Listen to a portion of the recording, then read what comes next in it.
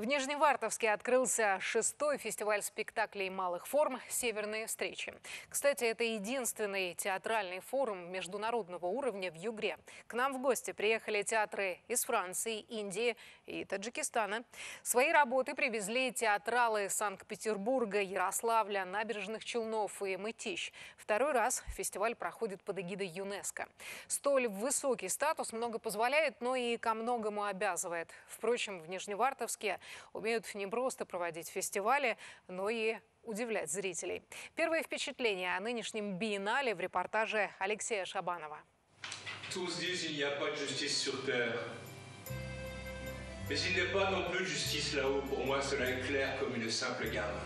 На холодном севере наше все Пушкин обрел французский шарм. Маленькую трагедию Моцарт и Сальери в Нижневартовск привез давний друг театра Боб Бентонель. Готовя программу фестиваля, организаторы справедливо решили, что в год Пушкина без его живого слова не обойтись. En fait, j'ai j'ai commencé avec. J'aime beaucoup. Я очень люблю Пушкина, мне нравится его поэзия. Над этой пьесой я работаю уже больше 20 лет. Рад, что мою идею поддержали организаторы фестиваля. Я с большим удовольствием сыграю Моцарта и Сальери в Нижневартовске.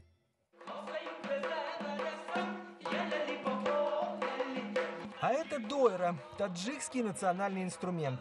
Мелодии Востока долетели до Нижневартовска из Канибадама. Музыкально-драматический театр этого города играет спектакль «Кори Шкамба», «Чтец Корана» и «Желудок». Парадоксальное название «Карнавальное содержание». Авторы спектакля говорят, что история очень старая, но они рассказали ее по-новому поучительно. Человек скупой, который ростовщик, дает деньги, проценты, да, он такой, он сам живет в бедноте, накапливает всю свою жизнь, да, она и подходит к сегодняшнему дню, да, как люди накапливают, накапливают, не живут своим жизнью, да, в итоге она уходит, не, не знаю, невидимо куда, да, вот эти деньги. Вообще на северных встречах все схватывают на лету. Вот этот столик явно навеян восточными мотивами. Фестиваль недаром считают одним из самых уютных и гостеприимных в России. Здесь заботятся об участниках и зрителях. Вот такую огромную и удобную кровать поставили для них прямо в фойе. Можно прилечь и отдохнуть, устав от богатства театральных впечатлений.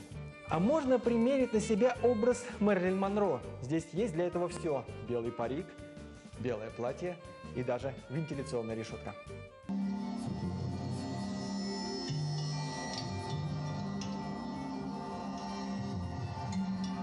Нынешний фестиваль – режиссерский дебют недавней выпускницы РГСИ вартовчанки Анны Наумовой. В программе ее чеховская диалогия, спектакли по рассказам «Ведьма и супруга», поставленные этюдным методом. Это новый театр, которого особенно в провинции пока немного. Есть такое сейчас направление, которое называется физикал театр.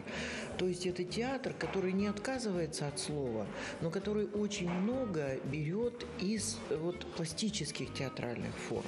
И вот, как мне кажется, Аня Наумова не просто как бы вот, ну, иллюстрирует текст, да, а она как бы взрывает его изнутри, вскрывает его. За четыре дня зрители увидят 11 спектаклей на двух сценических площадках. На этот раз в программе встретились спектакль одного из старейших в России Ярославского театра имени Волкова и композиция из Индии.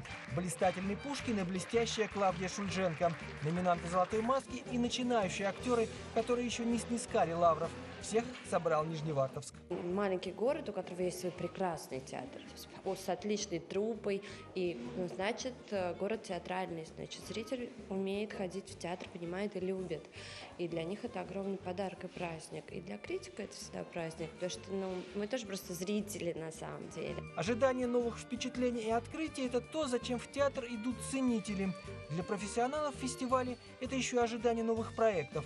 Конечно, все ждут интересных встреч, северных, но очень теплых. Алексей Шабанов, Рамиль Хайрулин, Евгений Лоскутников. Специально для программы «Больше, чем новости» из Нижневартовска.